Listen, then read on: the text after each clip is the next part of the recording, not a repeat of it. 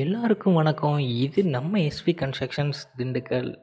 இன்றைக்கி நம்ம பார்க்குற டாபிக் என்னென்னு பார்த்தீங்கன்னா amount disbursement in housing loan நம்ம இது வரைக்கும் லோன் சம்மந்தப்பட்ட சிவில் ஸ்கோர்னால் என்ன? யாருக்கு முன்னுரிமை?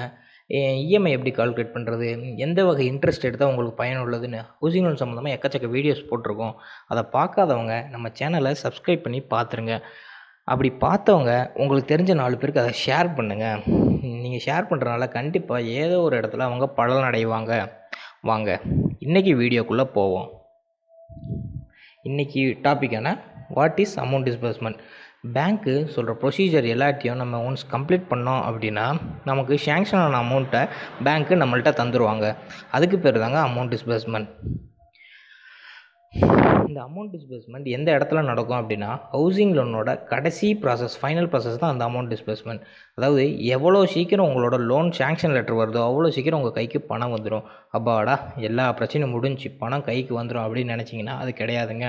அதாவது இந்த amount sanction loan sanction letter வர்றதுக்கும் அமௌண்ட் நம்ம கைக்கு வர்றதுக்கு நடுவில் இன்னொரு பெரிய பிரச்சனை இருக்குது அந்த பிரச்சனைனால எத்தனையோ பேருக்கு அப்ரூவ்டு ஆன லோனு கூட ரிஜெக்ட் பண்ணிடுவாங்க இல்லை பெண்டிங்கில் வச்சுருவாங்க.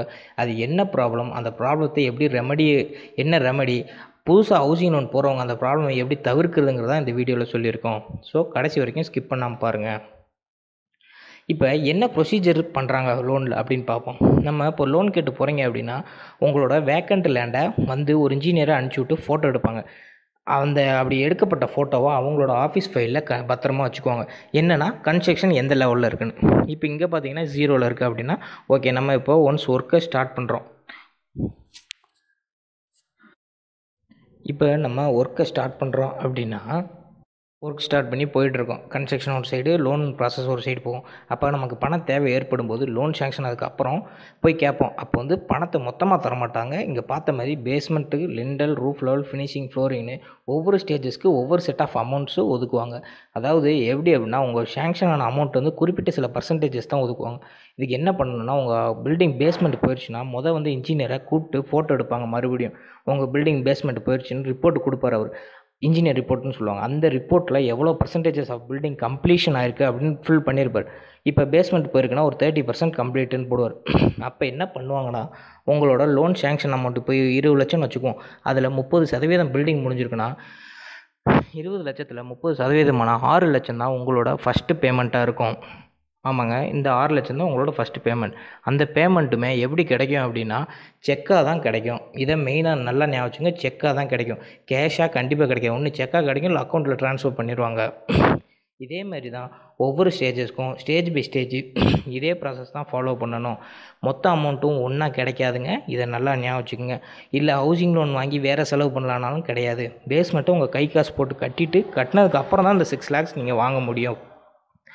இல்லை மொத்த அமௌண்ட் வேணும்னா மார்ட்கேஜ் லோனான அடமான கடனில் தான் உங்களுக்கு மொத்த பணமும் கிடைக்கும். வேறு எந்த ப்ராசஸ்லையும் கிடைக்காது. ஓகேங்களா?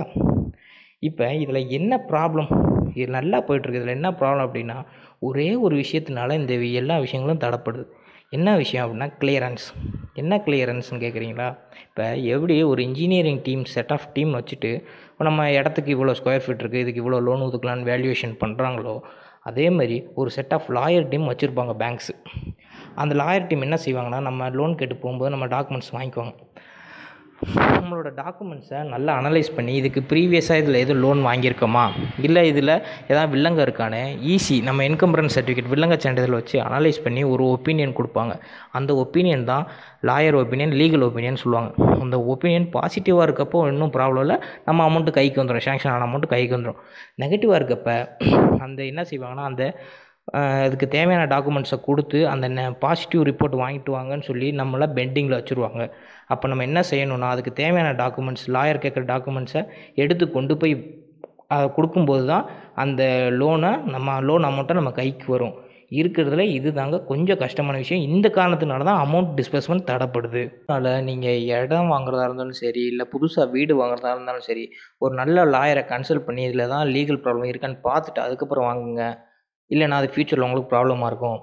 இன்றைக்கி உங்களுக்கு கொடுத்த டிப்ஸ் யூஸ்ஃபுல்லாக இருந்துச்சுன்னு நம்புகிறோம் இதேமாரி அடுத்த வீடியோவில் வேறு டாப்பிக்கோடு வர்றோம். அது வரைக்கும் உங்களுக்கு பிளான் லோன் எலிவேஷன் கன்சல்டிங் இல்லை மெட்டீரியலோட வீடு கட்டணும் அப்படின்னா எங்களுக்கு எப்போ வேணால் கால் பண்ணுங்கள் எங்கள் phone number eight double two zero six double one seven five nine construction சம்மந்தமாக எந்த ஹெல்ப்னாலும் எங்களுக்கு கால் பண்ணுங்கள் தேங்க்யூ